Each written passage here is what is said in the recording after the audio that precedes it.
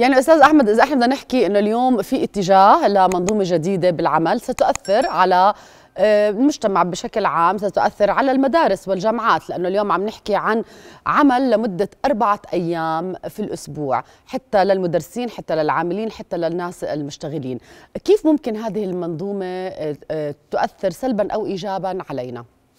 يعني بداية زي ما تفضلت حضرتك في البداية هو اتجاه عالمي في باحثين في شركات في بعض الحكومات آه، بتحاول تجرب تخفف من الضغوط على مواطنيها وعلى العاملين لديها وبالتالي بيقترحوا اقتراحات وبيعملوا تجارب بأنه آه، تخفيف أيام العمل يزيد من رفاهية المواطنين والعاملين. واللي أكد ذلك آه، يعني عشرات الدراسات التي أجريت دراسات تطبيقية بأنه ما في أثبتت أنه لا يوجد علاقة طردية بين زيادة ساعات العمل وبين إنتاجية العامل. لأنه في عوامل أخرى ذات علاقه لها علاقة بالتدريب بالتعليم بالتخطيط بنظم الحوافز بالرقابة بمؤشرات قياس الأداء كلها هاي عوامل بتقيس أداء الموظف وبعض بعض بعض البحوث التطبيقية أثبتت انه بالعكس كل ما خففنا ساعات عمل الموظف بزيد إنتاجيته لأنه بيرتاح أكثر. ولكن هذا مرتبط يجب أن يكون مرتبط بالعوامل الأخرى اللي هي لها علاقة زي ما حكينا بالتدريب والتعليم.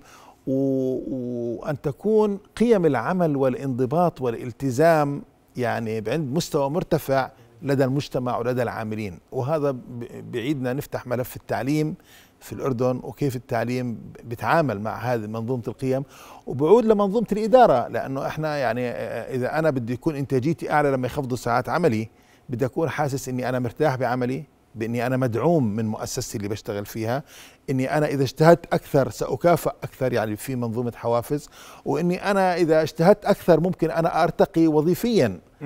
وبصراحة في بلداننا في بلدنا الأمور شوي بعيدة لأنه بتعرفوا كيف آليات التعيين وآليات الترقيات والمحاباة داخل المؤسسات حتى بعض القطاع الخاص. يعني في محاباة على حساب الإنتاجية نعم. وهكذا. وبالتالي إحنا بنتحدث عن في اتجاه عالمي ذاهب باتجاه تخفيض ساعات العمل وبالتالي تخفيض أيام العمل. وبعدين هذه هي سنة الحياة هذا قانون تاريخي يعني تاريخ قبل مئة سنة تقريبا كانوا الناس يداوموا 16 ساعة وكانوا يداوموا سبع أيام بالأسبوع.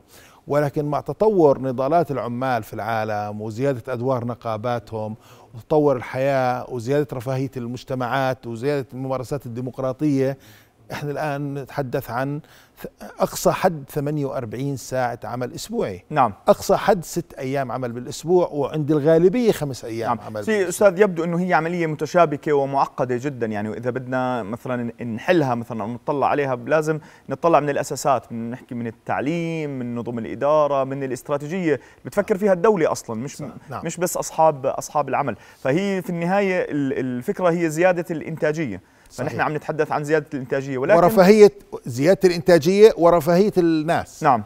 هيك هيك مسار التاريخ ماشي. نعم. بس هي فكرة إنه طبيعة العمل بتحكم. يعني طبيعي. هي بكل دول العالم في مثلا آه، عمل معين أو شكل معين. ناس بيشتغلوا شفتات بيشتغل سي بيشتغل اي بيشتغل بي بيشتغل سي بيشتغل طول الليل.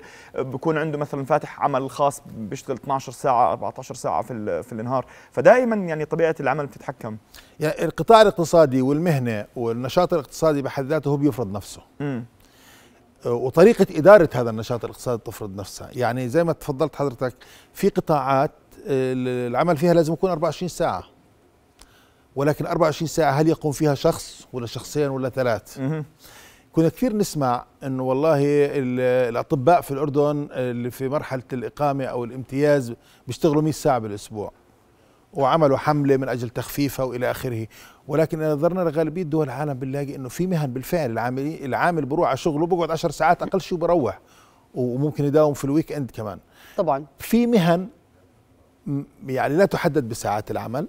في مهن آه، تتطلب إنه يداوم ساعات قليلة. في مهن حرة. إحنا في بلد زي الأردن عندنا تقريبا ما يقارب نصف القوى العاملة. بيشتغلوا أعمال آه، أعمال غير منظمة. بمعنى آخر ما عندوش رب عمل. هو بيشتغل مع نفسه. فهو حافزه الداخلي. بقول له ضلك اشتغل من الصبح لآخر الليل عشان تقدر تجيب دخل لأنه م. الغلاء الفاحش ومستويات الأجور المنخفضة إلى آخره. في دول لا معدلات الدخل فيها مرتفعة. بقول لك أنا بشتغل خمس ساعات وبريح. بروح.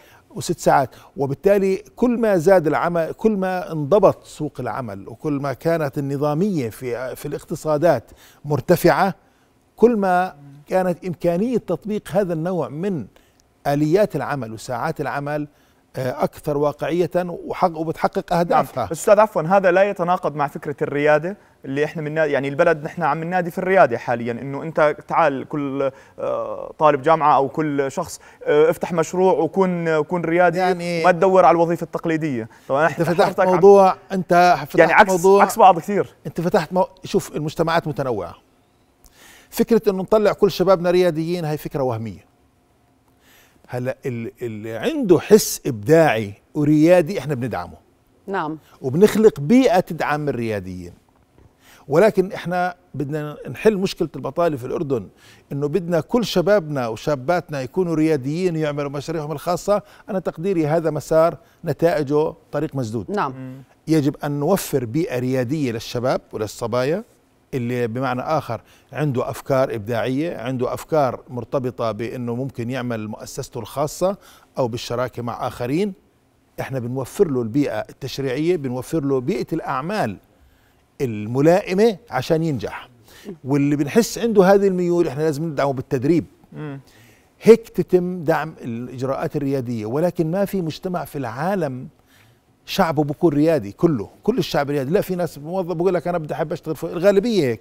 أنا بدي أروح أشتغل موظف أخذ راتب كريم أعيش فيه بكرامة وأسحب حالي وأروح وأنا بطلع مع أصحابي مساء أو صاحباتي نعم. وإلى آخره. وبالتالي هيك سنة الحياة. مهم جدا الجهود التي تبذل من أجل دعم الرياديين وبناء هذا الحس عند الشباب والشابات. هذا ممتاز ولكن يجب أن تكون توقعاتنا واقعية. كل الدراسات التطبيقية بتقول المشاريع الصغيرة والمتوسطة أكثر من 90% منها لا ينجح. مش عندنا بس في بالعالم. أوروبا وفي أمريكا نعم. وفي كندا وفي وفي سيول وفي وفي اليابان وفي وين ما بدك. الجزء الأكبر من المشاريع الصغيرة والمتناهية الصغر لا ينجح لأنه في عوامل عديدة لها علاقة فيه ودائما في البدايات حياتهم الشباب بكون عندهم حس المغامرة. بنجح أول مرة بنجحش أول مرة بفشل بعاود بحاول مرة ثانية اللي بيصمد في هذا المسار هم آه، قلة حقيقة. والأنماط اللي بنشوفها في العالم زي اللي اسسوا مايكروسوفت واسسوا أبل واسسوا يعني هذول اعدادهم محدودة. نعم. حتى في الولايات المتحدة الأمريكية اعدادهم محدودة.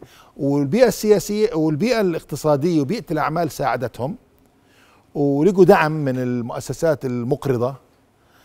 بس في على سبيل المثال بلد زي زي الأردن على سبيل المثال أنت بدك تعمل مشروع وتروح على البنك أقل شيء بيعطوك 8 9% فائدة. كيف بدك تعمل بيئة أعمال؟ أكيد. كيف بدك تعمل مشروع يتحمل مخاطر؟ وبالتالي إيه، تقليل ساعات العمل. في ناس بيشتغلوا ثلاث ساعات عمل بيجوا راتب ثمان ساعات عمل نعم. وهون أستاذ أحمد لازم يعني نسألك ما هي الدراسات اللي أثبتت إنه بأربع أيام عمل فقط بساعات عمل أقل ممكن أن يكون هناك إنتاج أكثر؟ أو يعني أنا اطلعت على عشرات الدراسات حقيقة بس غالبيتها نفذت في بيئات غير عربية. بيئات قيم العمل فيها مختلفة. منغمسة بالمجتمع بثقافة المجتمع. جزء كبير منها في دول شمال أوروبا وغرب أوروبا في كندا اللي فيها آه، التوجهات العامة لرفاه المجتمع في أمريكا لا مثلا. قصة رفاه المجتمع الإنسان الأمريكي يعني في في الولايات المتحدة الإنسان لازم يضل يركض يشتغل زي الماكينة عشان يقدر يعيش. لأنه الثقافة السائدة العمل والدخل وبالساعة العمل وإلى آخره اشتغلت ساعة بتأخذ ما اشتغلت ساعة ما اشتغلتش بتأخذش. منظومة الحمايات الاجتماعية الموجودة في دول أوروبا الغربية وفي دول أوروبا الشمالية هي أعلى من غيرها. الحكومات تتحمل مسؤوليات كبيرة بتوفير الحدود الدنيا من مستويات المعيشة للناس حتى لو كان شغلهم محدود. نعم. ذكرت أستاذ أنه بيئات مش عربية. طب إذا حكينا دبي مثلا بالتوجه الجديد بالعمل أربع, ساعات أربع أيام ونصف في, الأسبوع. يعني على إيش اعتمدوا مثلا؟ يعني أول شيء هم بداوموا هم كانت عطلتهم آه، جمعة وسبت كما هو معتاد. نعم. ولكن العالم بعطل سبت وأحد. وإحنا عندنا إحنا قبل سنوات طويلة لما بدأنا بدنا ننزل كانت عطلتنا يوم واحد الجمعة. نعم. وصار في تفكير نعمل يومين. إحنا كنا نعطل خميس, خميس وجمعه وجمعة، نعم. ضمن اعتقاد إنه الخميس يوم مقدس وفي أبعاد دينية وإلى آخره. بعدين ما الخميس ما في له أي أي طابع ديني يعني. وبالتالي صار اتفاق إنه لا يا عم الخميس داومه والج- وهذا في أوائل التسعينات. جمعة وسبت عطلوا عشان بنختصر يوم ما نن- ما ننفصلش فيه عن العالم. لأنه العالم غالي غالبيته الساحقة بعطل جمعه بعطل سبت وأحد. فإحنا لما نعطل خميس وجمعة إحنا بننعزل أربع أيام عن طبعاً. العالم. بس هو الانعزال عفوا أستاذ له علاقة بال يعني بأسواق الأعمال العالمية يعني بالبورصة العالمية والبنوك. مش بس لا. الشركات العالم الآن منغمس جدا وشوف قديش الاقتصادات العالمية الآن وبيئات الأعمال مترابطة. وشوف أنت ال- الأزمة الأوكرانية الأخيرة والروسية بدي لك قديش الاقتصادات متشابكة مع بعضها البعض وكل الدول متشابكة مع بعضها البعض. الناس بتصدر بتستورد الناس بتودي إيميلات لبعض بتجيب إيميلات. الع- حتى اللي بيشتغلوا على المستوى المحلي هم مرتبطين بالأسواق العالمية ومرتبطين في البيئات الخارجية وبالتالي صار الاقتراح إنه يصير في دبي إنه آه بيقدروش يقولوا للناس ده يوم الجمعة كامل أنتوا عطلوا. فصار عندهم بدل جمعة وسبت مم. نص جمعة وبعدين سبت وأحد. أو داوم هم ما بيخسروا خاصة إنه دبي وإنت فيها ما بتحس حالك أنت أصلا ببلد عربي.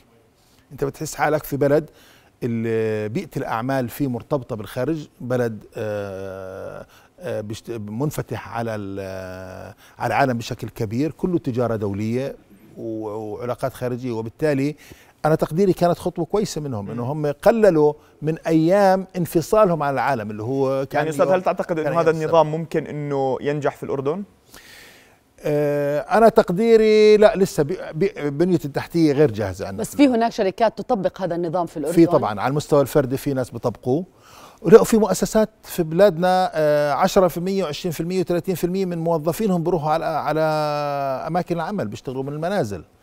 لأنه كمان طبيعة العمل بتفرض ذلك طبيعة المهمات تفرض ذلك آه، طبيعة قياس أداء العاملين بيفرض ذلك. إنه أنت بالنهاية بدك منتج نهائي بدك المنتج. انت بدك ال- المهمة انجزت أو لم تنجز. أم لم تنجز. نعم. يعني المحاسب على سبيل المثال بكفيه يروح يوم يومين على في الأسبوع على مكان عمل المبرمج الباحثين المستشارين المدققين.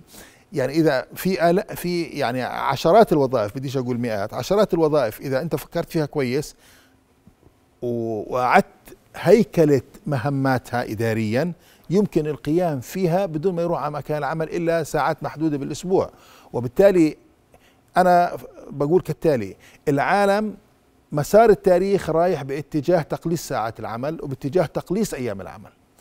على نظم الإدارة في بلداننا في القطاع العام وفي القطاع الخاص وفي القطاع المختلط لأنه في مؤسسات مختلطة إنها تهيئ بناها الإدارية وهياكلها ونظمها وسياساتها باتجاه الدخول إلى هذا العالم بسلاسه دون حدوث فجوات، هذا بيتطلب نظم التعليم تتغير، هذا بيتطلب نظم الإدارة تتغير لأنه أنا تقديري نظم الإدارة هي الأساس، المؤسسات اللي فيها تدريب للموظفين وعناية فيهم ورفاهيتهم وتطويرهم. وتطوير. قدراتهم اللي لها علاقة بتحفيزهم بإنتاجيتهم بعدم التعامل معهم كماكينات يجب التعامل مع العامل كإنسان إذا وفرنا له بيئة محفزة أداؤه بيتضاعف. هلأ مش كل الناس ماك- ماكينات إنه إذا زدته حوافزه واحد بالمية هو أداؤه راح يتحسن واحد بالمية. لأ في تفاوت. ولكن مؤسسات الأعمال لازم تكون حواضن لتحفيز ودعم الشباب والشابات والعاملين والعاملات باتجاه تحسين أدائهم، يوما ما سيكون ساعات العمل قليلة، وإحنا في بلادنا إحنا في بلادنا ساعات العمل قليلة، إحنا جزء كبير من المؤسسات بدهم 40 ساعة بالأسبوع. جزء كبير من المؤسسات، نعم. لما تحكي أنت من الثمانية للاربعه وخمس أيام بالأسبوع وفي مؤسسة القطاع العام بداوم 35 ساعة تقريبا وهكذا. وبالتالي يعني وفي أيام في مؤسسات بداوموا 100 ساعة بالأسبوع في للأسف الشديد في بلداننا. ومن الليل لليل وبروز بيستلموش رواتبهم في مواعيدها كمان يعني. أكيد في آه، كثير حجم حجم الانتهاكات كبير. في بيئات زي عمل زي هيك فيها اختلالات إدارية وفيها تعامل مع العامل باعتباره ماكينة. كيف بده يخلقوا له آه، كيف بده يخلقوا له آه، بيئة عمل محفزة تزيد انتاجيته طبعاً. فيها؟ إذا بتسمحوا لي في مؤسسات برا الأردن وخارج الأردن. على محدوديتها. بيفرضوا على عامل يرتاح بعد الظهر نصف ساعة. نعم. ويلزموه لأنه أداؤه بتحسن. نعم. يعني- وهون بس بدنا نحكي نقطة كتير مهمة بالختام إنه عشان هيك لازم النقابات تشتغل أكثر ولازم كل الأشخاص تكون عارفة إيش حقها في العمل صحيح. وإيش واجبها. شكرا جزيلا لوجودك معنا شرفتنا. أهلا وسهلا.